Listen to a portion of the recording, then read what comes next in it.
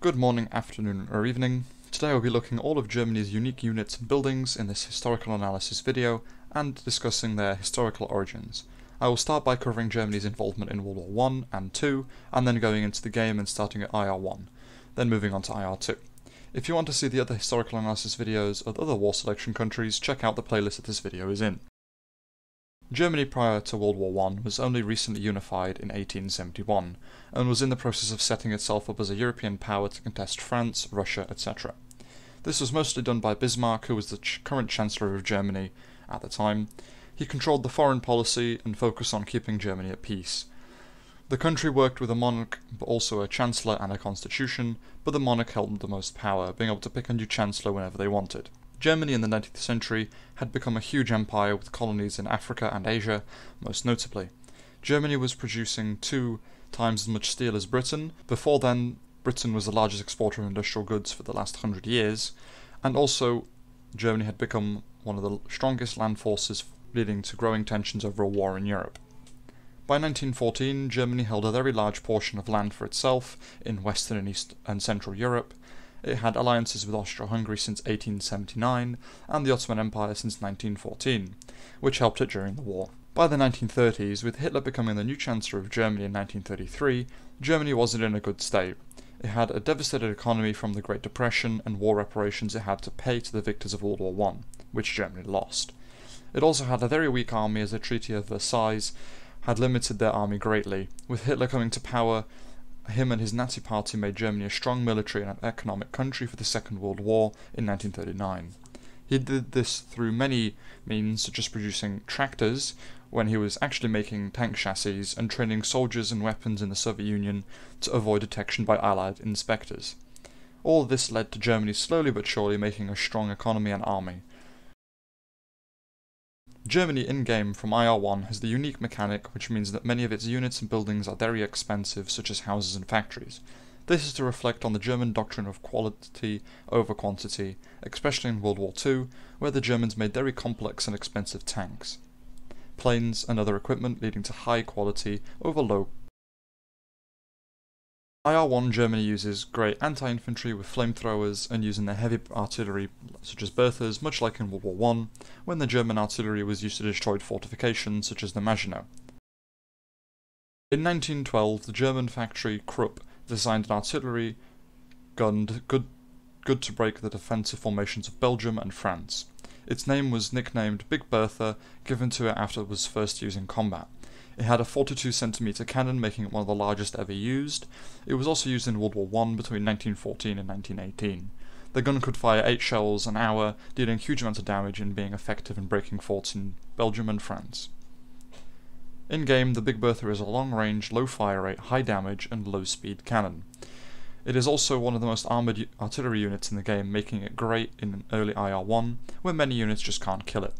But it is an expensive unit, takes a lot of time to build, from the also expensive factories, but the Bertha can be constructed by engineers in the field for a higher price.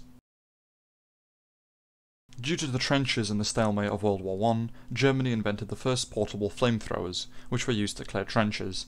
The weapon was operated by two soldiers, one carrying the fuel and propellant, and the other carrying the actual weapon. They were not very effective as they were a big target for snipers, and also didn't have much range. Most use of flamethrowers is in urban conflicts such as the Warsaw Uprising in 1944 and other cities until the end of the wars. In-game, the Flammenwerfer is a weak unit in IR1 because of its lack of armour and its slow movement speed, but it can mostly one-shot all infantry in the game. But in IR2 you unlock the ability to upgrade the Flammenwerfers into armoured Flammenwerfers, which are immune to most bullets from units such as soldiers, SMGs, etc., this makes them great for sneaking into the enemy base and killing unsuspected workers, or in the use against Chinese uh, units, which are mostly melee. Prior to World War II, Germany built an extensive defensive network of bunkers and forts called the Siegfried Line, or the West Wall. Stretching from the Swiss border up to the Netherlands, they also constructed the Atlantic Wall from the Spanish border until the northernmost part of Norway to stop Allied invasions. They did this by the use of heavy bunkers called pillboxes, which were concrete bunkers which could withstand small artillery fire and most handheld weapons such as grenades. These were mounted with machine guns and cannons, to name a few. In game, the pillbox is used in IR2 as a defensive structure, which can be built like towers with a machine gun to start with, but can also be upgraded to have a cannon, which can be used against more armoured targets, and an anti aircraft machine gun, which can be used against air units. Both versions retain their base machine gun also, making them a great defence as it has high health and good weapons. The Panther tank was a German medium tank in World War II, produced from 1943 until 1945. It was mostly used on the Eastern Front and in the Western Front after D-Day.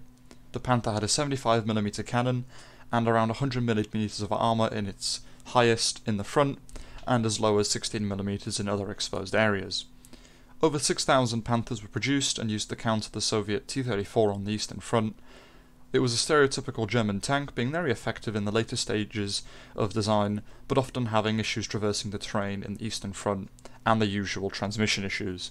It was also very expensive and took over 2,000 man hours to construct. In game, it is a tank with good armour and health and good damage, but it isn't very fast and is very expensive, making it mostly not used, but still being an option when trying to snipe an enemy player's town hall or trying to counter enemy tanks. The Goliath tracked mine is an unmanned ground vehicle which was loaded with around 60 to 100 kilograms of explosives, and driven into enemy formations or buildings to demolish them. This was used by Germany in World War II between 1942 and 1945, to limited effectiveness.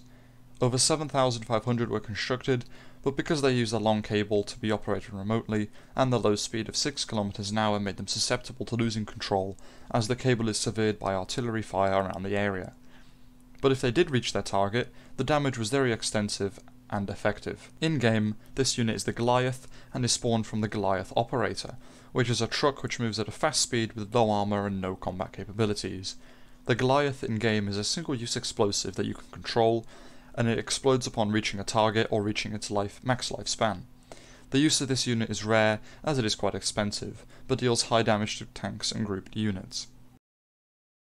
The mouse tank was designed from 1941 and produced in 1944 for the first time, with two units being built, one without a turret and only a chassis, and one with a fully functioning turret. This is the heaviest tank ever produced, which meant it couldn't cross any bridges, forcing it to ford them.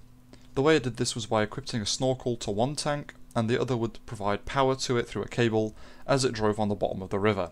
With a 128mm gun and a secondary 75mm cannon, this tank could pierce any tank at the time, and some from over 7, 3 kilometers away. It never saw combat and was eventually scrapped to avoid capture, but it was rebuilt after the war and is stored in a museum in Russia. In game, this is one of the heaviest armoured units and most expensive units in the game, meaning its uses are limited, it is exposed to high amounts of artillery fire, as it can only fire at a slow rate to defend itself, so sending it alone is not possible. The tank has the highest damage of any tank, and is good at attacking fortifications when supported correctly, against such things as Turkish mortars, being repaired by engineers and supported by other artillery such as Berthas. The Me-262 is the first jet-powered operational fighter plane. At its time of production 1944, it had claimed around 500 Allied planes downed, with 1,400 built, due, but due to poor implementation and shortages of fuel and materials, it wasn't used early enough in the war.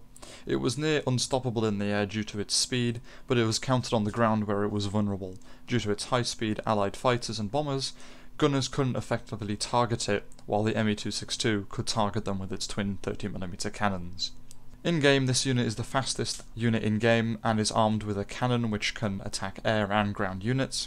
It is very effective in groups of 5 or more, but it is also very expensive and can be shot down quite easily, making it hard unit to use effectively.